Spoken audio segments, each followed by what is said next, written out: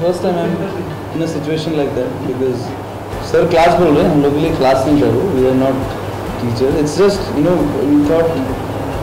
it was a very nice interactive session बहुत friendly एक uh, माहौल था uh, they are film students so they almost actually understand a lot of technicalities as industry में इतना कुछ हो रहा है तो normal जो student नहीं भी हैं उन लोगों को भी बहुत कुछ पता है so they and according to that they don't know a lot of things already Subhashi कैसा रहा अजीत के साथ जब अजीत को आपने बुलाया तो क्या अजीत को देखकर लगा क्या ये बच्चे बेहतरीन स्टूडेंट हो सकते थे अगर यहाँ से पास आउट करते थे He remains student in the Anapurna. And Arajit is very ardent student. His work shows. That's why he said that I'm not good. Because we are perpetually a student. We keep learning.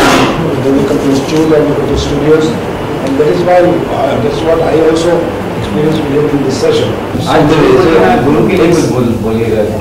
आप गुरु कर रहे हैं आपके अपने जो गुरु आपके माता पिता एक गुरु एक प्रेरणा स्थल रही है जी मेरे मेरे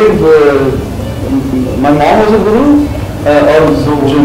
जिन जिन जिन लोगों को सिखाया they they also my gurus and यहाँ पे आके भी जहाँ जन जिन से मैंने सीखा they also my gurus and my friends are also my gurus so Guru Purnima में बेसिकली क्या होता है कि it's a respect to your self your inner self that you actually respect people around